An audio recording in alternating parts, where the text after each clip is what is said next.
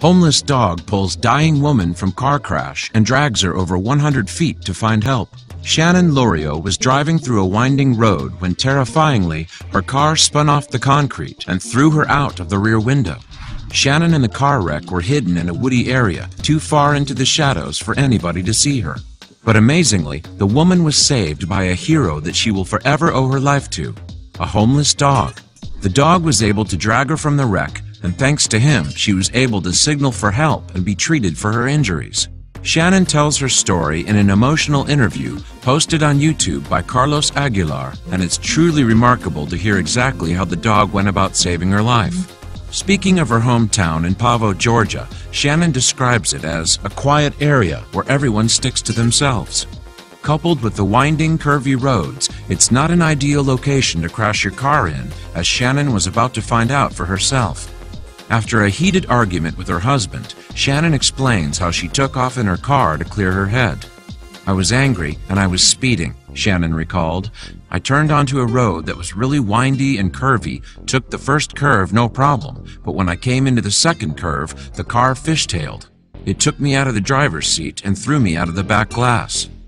When Shannon came to, she was lying halfway out of her car, with the bottom part of her body lying in the back seat and her torso laying up onto the back of the trunk. Despite not remembering much of what happened, Shannon knew that she was in a lot of pain and that she needed to get help fast. Because of the spot that she had crashed into, this was going to prove very difficult, but luckily, someone was on hand to help. Because of the way my car went in, anyone who was coming wouldn't have seen me, Shannon said. I don't know how long I had been out before I came to, but I remember when I did come to. I felt this huge presence. I don't know if he was making his rounds, the dog. I don't know if he was headed back to his original owner, but he came across me, and I thank God that he did. He had jumped up onto the back of the car, and he was up there where I was at. My face was bleeding, and he began to lick my face. And the next time I came to, he had me turned around and halfway off the car. He was pulling me off the back of the car. According to Shannon, the heroic dog had grabbed the back of her shirt and didn't give up tugging and pulling until she was completely out of the car. He then pulled her to the edge of the road where she would be seen by passing motorists. She knew that she had to stand up to get attention, so Shannon reached up and wrapped her arms around the dog's neck. Thanks to her very own hero, she was able to pull herself up and stop a passing car, who immediately called an ambulance. Shannon next woke up in hospital where she found out that she'd obtained a brain hemorrhage from the crash.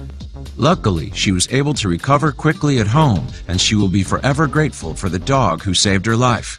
This dog, he did everything, and he's an amazing animal, he really is, Shannon said tearfully. If he hadn't saved me, I wouldn't have been here today.